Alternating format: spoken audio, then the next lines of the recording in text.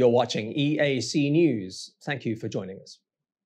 Cambodia's two week lockdown has begun. For the next 14 days, alcohol sales are banned, dining in at restaurants at any time of the day is prohibited, and a 9 p.m. to 3 a.m. curfew is in effect.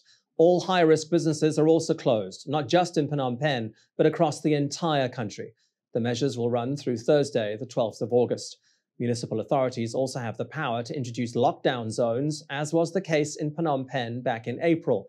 And the first of the latest zones have already been declared in Siem Reap. The first red zone of the two week national campaign is the Kampong Kliang commune in Siem Reap's Sut Nikum district.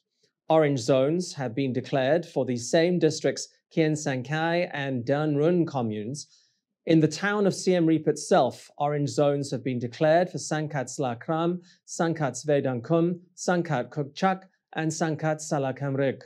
More zones are expected to be declared in other parts of the country over the next couple of days.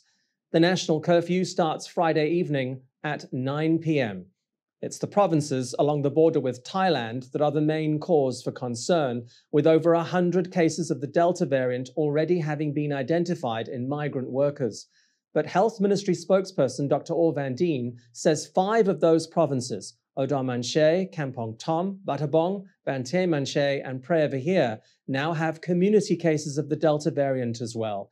Their borders have now been closed to all but emergency services and goods transportation. The next 14 days will be critical if Cambodia is to avoid a third wave of COVID 19 brought on by a variant that is almost 300% more transmissible than the original virus.